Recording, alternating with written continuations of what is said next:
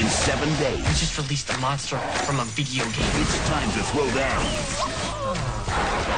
It's time to level up. The Cartoon Network world premiere of the brand new movie Level Up next Wednesday at 7, 6 Central on Cartoon Network.